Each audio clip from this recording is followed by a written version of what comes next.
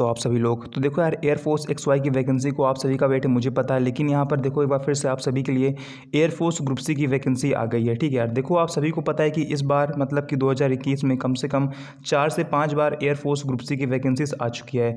और अभी हाल फ़िलहाल में कोस्ट गार्ड यानी कि इंडियन कोस्ट गार्ड की भी ग्रुप सी की वैकेंसी आई थी। और इंडियन नेवी ग्रुप सी की वैकेंसी आई थिंक डेट उसकी खत्म हो चुकी है, ठीक है यार। तो आप इसको देख लेना Indian coast guard group C vacancy फ़िलहाल इसमें केवल आठ पोस्ट है मैंने इसके लिए कुछ खास इन्फॉर्म किया नहीं हो कि यार आठ पोस्ट है तो इसके लिए कोई ज़्यादा मतलब होगा नहीं एक्साइटेड ठीक है? तो बात करते हैं एयरफोर्स ग्रुप सी की जो नई वैकेंसी आई है आज आपको पता है ट्वेंटी वन अक्टूबर है और ये आज की अपडेट है, ठीक है? एयरफोर्स ग्रुप सी की नई वैकेंसी है तो ये आपके लिए गोल्डन अपॉर्चुनिटी हो सकती है। तो मैं आपको सब कुछ बताऊँगा कि आपको क्या मतलब कि इसमें एलिजिबिलिटी क्राइटेरिया क्या है और इसकी पोस्ट कितनी है, कहाँ पे पोस्ट है, सब कुछ आपको बताऊँगा तो आप वीडियो कंप्लीट वॉच करना। चलिए स्टार्ट करते हैं। तो ये बिल्कुल नई पोस्ट है, आपको पता है कि चार बार पोस्ट आ चुकी है ग्रुप सी की और ये पाँचवीं बार दो हज़ार इक्कीस में आती है, ठीक है? तो अगर बात करें सबसे पहले पोस्ट के नेम की तो आपके इसमें एलडीसी की पोस्ट है एमटीएस है स्टोर है ओ है कुक है कारपेंटर है एमटीएस है और फायरमैन की पोस्ट है। तो इतनी पोस्ट हैं आपकी जो कि इस बार ग्रुप सी में निकाली गई हैं रिक्रूटमेंट और अगर बात करें इंपॉर्टेंट डेट्स की, यानी कि फॉर्म कब से स्टार्ट होगा तो आप थर्टी अक्टूबर से आप फॉर्म फिल कर सकते हो। आपको पता है कि जब ये एम्प्लॉयमेंट न्यूज़ में इसका एडवर्टाइजमेंट आता है तो उसके तीस दिन तक आप अपना जो फॉर्म है ऑफलाइन फिल कर सकते हो, ठीक है? ऑफलाइन फॉर्म कैसे फिल करना है?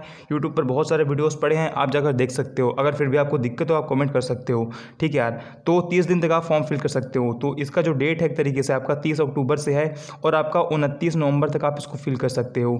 और इसके लिए आपको पता है कोई भी फ़ीस नहीं होती है, ये फ्री होता है। फॉर्म ठीक है? और आपको इसके अप्ला ऑफलाइन ही अप्लाई करना पड़ता है। यानी कि आप सभी को जो आपके पुराने भाई बहन आप उनसे पूछना, उन्हें अच्छे से पता है कि ऑफलाइन कैसे अप्लाई किया जाता है। बाकी आपको अगर कोई दिक्कत आप बता सकते हो। अगर बात करें एज लिमिट की तो आपकी एज लिमिट आपको पता है, इसमें अट्ठारह से पच्चीस साल होती है अनरिजर्व के लिए। और इसके अलावा इसमें एज रिलैक्सेशन भी होता है, क्योंकि आप सभी को पता है ये सिविलियन पोस्ट है, ठीक है? तो इसमें जो भी आपको मिलेगा रिलेक्शन वो मतलब आपके रूल के हिसाब से होगा। लाइक आप ओबीसी हो, आप एससी हो एसटी हो तो आपको आपका जो रूल्स है, उनके हिसाब से आपको मिल जाएगा। ठीक है तो बाकी अट्ठारह से पच्चीस ये अनरिजर्व के लिए है। ठीक है तो अगर बात करें टोटल पोस्ट की तो इसमें आपकी टोटल तिरासी पोस्ट है। ठीक है, तिरासी वैकेंसी आपकी है, और अगर बात करें कौन किसमें कितनी पोस्ट है तो एलडीसी की आपकी पूरी बारह पोस्ट है, आप कैटेगरी देख सकते हो। ठीक है, ये कैटेगरीज के नेम है, और ये टोटल वैकेंसीज हैं। एमटीएस की आपकी टोटल अट्ठारह पोस्ट है, ये आपकी कैटेगरीज वाइज डिवाइड है, और ये स्टोर की सिर्फ़ एक ही पोस्ट पोस्ट है और ओ की आपकी पूरी बीस पोस्ट है सॉरी पूरी फोर्टी फाइव पोस्ट है और ये देखो आप कैटेगरीज डिवाइड है, आप इसे देख सकते हो। बाकी कुक की आपकी केवल पाँच पोस्ट हैं, ये आपकी कैटेगरीज डिवाइड है और कारपेंटर की आपको सिर्फ़ एक ही पोस्ट है।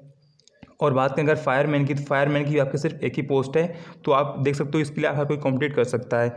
अगर बात करें अब आगे एलिजिबिलिटी क्राइटेरिया की, यानी कि कौन कौन किस पोस्ट के लिए एलिजिबल है और कहाँ पर पोस्टिंग होंगी, यानी कि किस एयरफोर्स स्टेशन में वैकेंसीज आई हैं तो चलिए आगे देखते हैं। देखो, अगर बात करें एलडीसी की तो एल की आपको पता है एक पोस्ट है, ठीक है? तो इसके लिए आपको ट्वेल्थ पास होना चाहिए और इसके अलावा आपके देखो यहाँ पर टाइपिंग स्पीड भी मांगी गई है तो अगर आपको इसके लिए अप्लाई करना है तो आप टाइपिंग स्पीड की प्रैक्टिस करना शुरू कर दीजिए। लीजिए ठीक है? Thirty thirty five W P M English का है और thirty W P M Hindi का स्पीड है। और अगर बात करें एम टी एस की तो एम टी एस की तीन पोस्ट है और इसके लिए आपका मेट्रिकुलेशन होना चाहिए और मेट्रिकुलेशन अगर आपके पास नहीं है तो इसके इक्वलेंट जो भी क्वालिफिकेशन वो यहाँ पर चल जाएगी। और अगर बात करें दोनों पोस्ट ये दोनों पोस्ट आपकी आगरा में है तो जो लोग आगरा से हैं, उनके लिए गोल्डन अपॉर्चुनिटी उसे फिल कर सकते हैं, ठीक है? पूरी चार पोस्ट हैं। एयरफोर्स स्टेशन आगरा में है। अगर बात करें आगे एलडीसी की तो एलडीसी के लिए आपका जो एलिजिबिलिटी वो ट्वेल्थ पास होना चाहिए और इसके अलावा आपकी देखो वही सेम स्पीड है मांगी गई है वर्ल्ड पावर आपकी टाइपिंग की। और अगर बात करें स्टोर के लिए तो इसके लिए एक पोस्ट है और इसके लिए आपको ग्रेजुएशन यहाँ पर चाहिए, ठीक है? आप किसी भी यूनिवर्सिटी से ग्रेजुएट आपको होना चाहिए या उसके इक्वलेंट जो भी है वो चल जाएगा यहाँ पर, ठीक है? और अगर आगे बात करें ओजी की तो यहाँ पर इसकी भी एक पोस्ट है आपको पता है और यहाँ पर आपके लिए मेट्रिकुलेशन यहाँ पर मांगा गया है। तो मेट्रिकुलेशन इसके अलावा यहाँ पर वैलिड सिविल ड्राइविंग लाइसेंस भी आपके पास होना चाहिए। दोनों लाइट व्हीकल और हैवी व्हीकल दोनों के लिए आपके पास ड्राइविंग लाइसेंस होना चाहिए, यानी कि डीएल ठीक है, और अगर बात करें ये पोस्ट कहाँ तो ये पोस्ट आपकी है असम में, तेजपुर में। ठीक है तो जो लोग असम के हैं, उनके लिए गोल्डन अपॉर्चुनिटी उसे फिल कर सकते हैं। अगर आगे बात करें ओजी की तो इसकी एक ही पोस्ट है। ठीक है यार तो इसमें भी देखो सेम ही है। देखो मैं आपको बताना भूल गया। इसके ओजी के लिए यहाँ पर आपके लिए कम से कम दो साल का ड्राइविंग मोटर व्हीकल आपका एक्सपीरियंस भी होना चाहिए और सेम सब इसके लिए भी है। ठीक है तो आप इसे आगे पढ़ सकते हो। अगर, और इसकी पोस्ट आपकी गुवाहाटी में है, ठीक है तो आप जो लोग गुवाहाटी से इसको अप्लाई कर सकते हो। अगर बात करें कुक की पोस्ट के लिए तो ये जैसलमेर, राजस्थान में निकली है और इसके लिए आपका मेट्रिकुलेशन होना चाहिए और इसके अलावा आपका एक ईयर का एक्सपीरियंस होना चाहिए।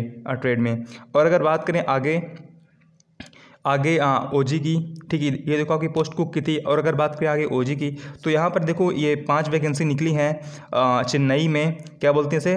ताबाराम में, ठीक है? और ये एक पोस्ट निकली है जैसलमेर में। और अगर बात करें आगे ओजी की, एक पोस्ट निकली आपकी हकीम पेट में, ठीक है यार? ये कहाँ? ये सिकंदराबाद में है। तो आप इसको देख लेना। बाकी क्वालिफिकेशन देखो सबकी बराबर बगल में दे रखी तो आप इसको पढ़ सकते हो। क्वालिफिकेशन कुछ खास सबके डिफरेंस हैं, लगभग सबकी वही है। बस क्या है कि सब में जैसे जो पोस्ट जिस प्रकार से, उसमें उस प्रकार से एक्सपीरियंस मांगा गया है, ठीक है? तो आप इसको देख लेना कि किसमें क्या मांगा गया एक्सपीरियंस किसमें क्या मांगा गया, ठीक है? और अगर बात करें आगे तो यार देखो मोटा मोटा आप इसे खुद यार देख सकते हो, मैंने इस पर देखो आपको आपके सामने इसे प्रेजेंट कर दिया है। अगर मैं बताऊँगा इसमें काफ़ी टाइम लॉस होगा आपका, ठीक है यार? तो यहाँ पर देख लो यार, देखो ये कानपुर में देखो वैकेंसी भी निकली है, चार वैकेंसी ओजी की कानपुर में है और एलडीसी की एक वैकेंसी कानपुर में है और पाँच वैकेंसी पाँच पोस्ट एमटीएस की भी कानपुर में है, ठीक है यार? तो जिसको यानी कि जैसे आपके अगर स्टेट में, आपके डिस्ट्रिक्ट में तो अभी साथ ज़रूर फिल करना।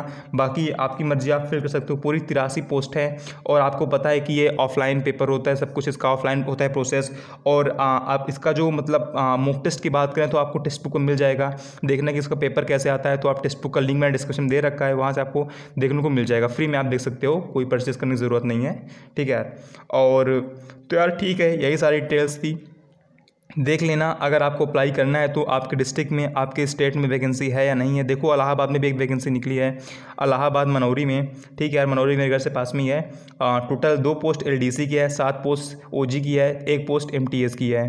ठीक है तो आप देख लो अगर आपके घर के पास मतलब कि आपके इस डिस्ट्रिक्ट में, आपके स्टेट में है तो आप अप्लाई कर सकते हो।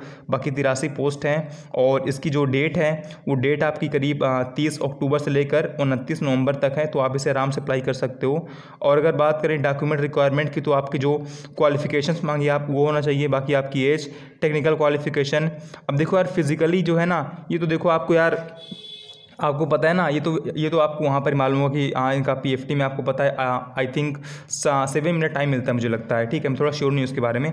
बाकी आपको दस रुपये का स्टाम्प आपको यहाँ पर ऐड करना पड़ेगा जो आप फॉर्म अप्लाई करोगे तो ठीक है यार। और बाकी अगर आपके पास कोई एक सर्विसमैन का सर्टिफिकेट है तो आप इसको भी अप्लाई कर सकते हो, ठीक है। बाकी ठीक है यार यही सारी डिटेल्स थी, और जो भी आपको और कोई दिक्कत आती है तो आप कमेंट कमेंट कर सकते हो। बाकी ठीक है यार, जय हिंद, जय भारत, वंदे मातरम।